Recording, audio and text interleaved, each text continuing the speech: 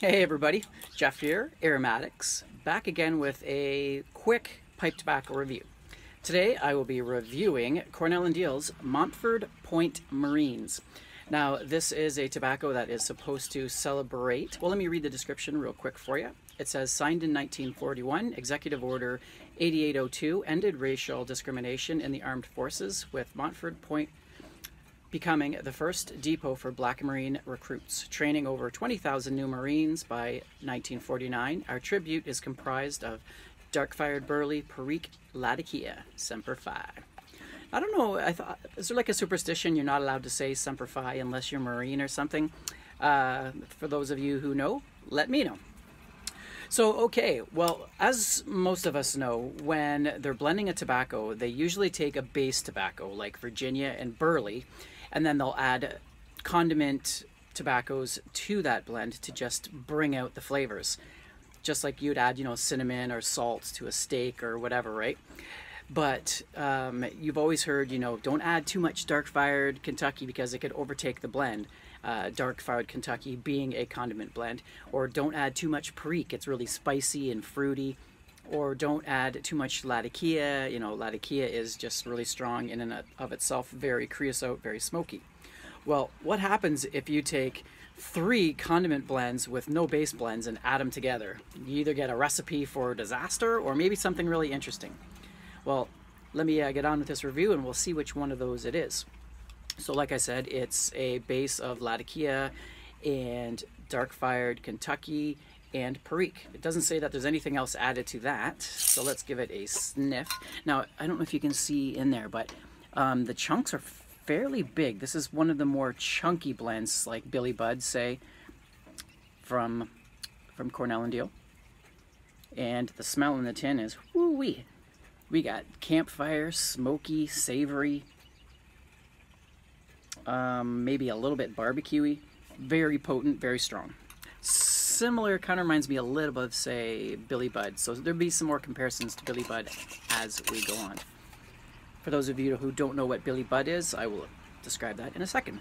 So, okay, I have got my good old um, freehand cob packed up. This is the, the um, how do you say it? The coated version, not, not the naked version. So, let me light up. Let's see what we're getting.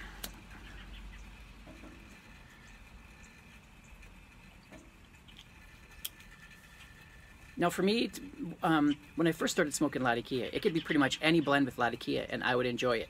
But it got to the point where I kind of got just maybe a little bit bored of Latakia English type blends, so it had to be something special for me to like it, or something. I'm kind of gimmicky when it comes to tobaccos. I like a gimmick tobaccos, so something with some cigar leaf in it would catch my attention, or something with a, a lot of one, you know, condiment tobacco like Perique, etc. And that's what kind of caught my attention with this is, ooh, Latakia with just dark fired and Perique. That sounds pretty interesting. So, so right from the start, this is probably one of the most flavorful, strongest tobaccos that I've ever smoked. And strong as in flavor, not as in nicotine, because the nicotine is actually fairly mild. I, don't, I've never really gotten any nicotine hit off of this blend.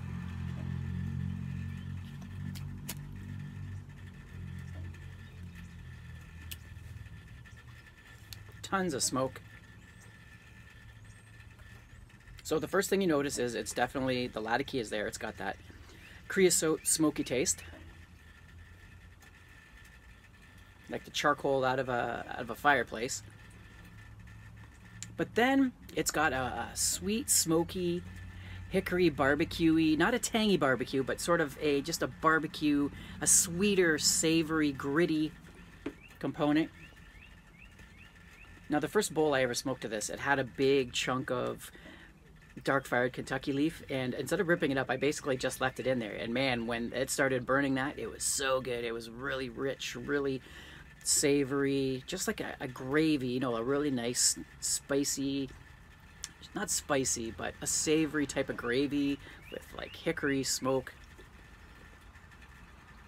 Now the Perique at first doesn't, you don't really taste it. There's not a lot of spice or plum, anything like that. But either you'll hit a patch of it or as it goes down, the perique starts to pick up. And that's when this thing really starts to sing, is when that perique hits. So now you're getting a nice kind of a spicy, tangy flavor added along with that hickory, smoky barbecue, and then on that, that creosote kind of charcoaly taste.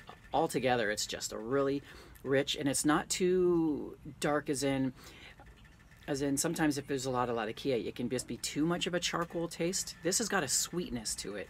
Sweet as in not a sugary sweet just a barbecuey hickory sweetness a natural smoky flavor that just keeps us from being overwhelming. Too much talking and not enough smoking